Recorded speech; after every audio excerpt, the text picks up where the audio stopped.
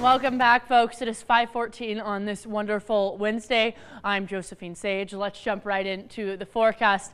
As we take a look outside right now, I know America's Mattress Live Tower cam is a little bit unfocused, but we're looking at a lot of overcast skies. A little bit of a clearing should be happening later in the morning hours, though. We'll notice those temperatures, uh, temperatures are still at or above those seasonal averages with thunderstorms still kind of lingering.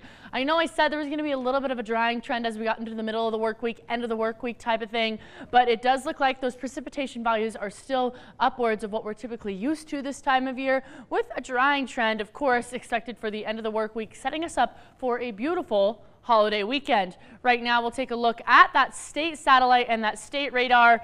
This is These are these storm clouds that I'm chatting about that left us with just a little bit of some rain this morning and, well, a little bit of some accumulation overnight. They are soon to kind of head on out, and they're actually going to head north towards that steamboat, that Meeker, that Craig area, and that flow is going to take it on up through Wyoming. We'll also take a look here, folks, because we are going to have that drying trend happen as this low pressure system and all these little arrows send all that precipitation up northward of us. We'll notice that we're still staying in that yellow, in that orange zone as this high pressure ridge pushes on up through the panhandle to return us back to, well, dry, typical western slope weather.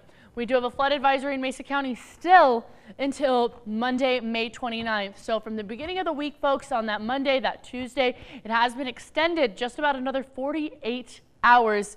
And I wouldn't be surprised if it sticks around with us because of those warmer temperatures.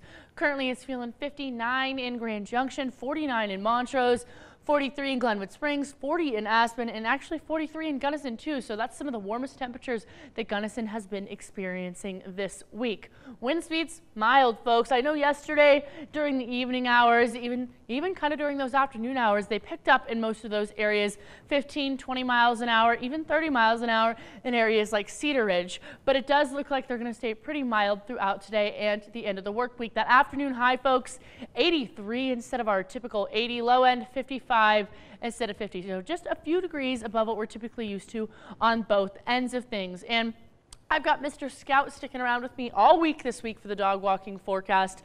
9 a.m. feeling 69, noon 80 degrees, 3 p.m. 83 again all with those mostly sunny skies. If you want to send me a photo of your dog, please feel free to at jsage at krextv.com.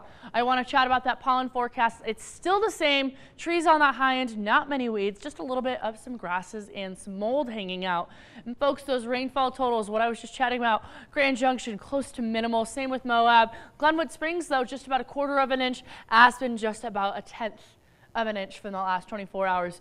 We'll notice as we get into the rest of today that morning hours, some widespread showers again along that well southern Grand Valley area and as long, alongside that northern Front Range area. And as we get into the evening hours, clearing expected for us. That's going to continue with us for the rest of the week. Maybe a little bit of a chance for some showers on Sunday, but not much at all. And as we get into that holiday weekend, 86, 87, 88 on Sunday, Monday, Tuesday. So well, try and make some plans, get outside. We've got lots and lots of sunshine hanging out.